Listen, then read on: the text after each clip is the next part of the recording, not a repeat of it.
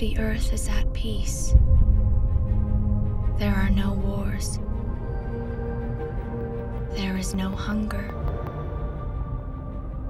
Honesty, courtesy, and kindness are practiced by all. The world has never been